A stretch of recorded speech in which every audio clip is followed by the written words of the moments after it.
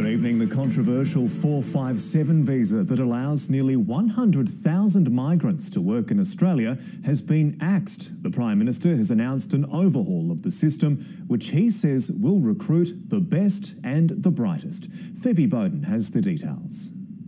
Working in Australia is set to get a lot harder for foreigners. The Prime Minister making the announcement on Facebook, complete with music. So we're abolishing the 457 visas, the visas that bring temporary foreign workers into our country. Under the new plan, the 457 visas will be scrapped and replaced with the temporary skill shortage visa that run for two or four years.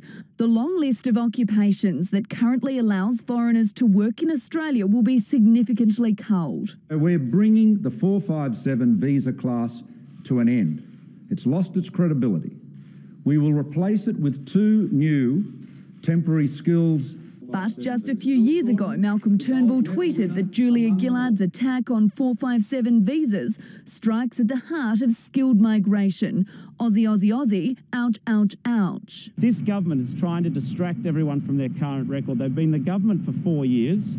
We've got 1.13 million people who are underemployed. There's 216 jobs that the government says should no longer allow migrants to get a visa, including everything from goat farmer to police officer, all set to be axed. For those people uh, that are here on a 457 visa at the moment, uh, there'll be a grandfathering arrangement. They'll continue under the conditions of that visa.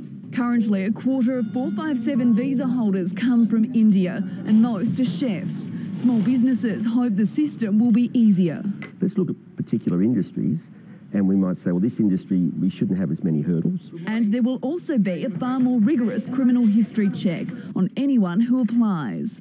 Phoebe Bowden, 10 Eyewitness News.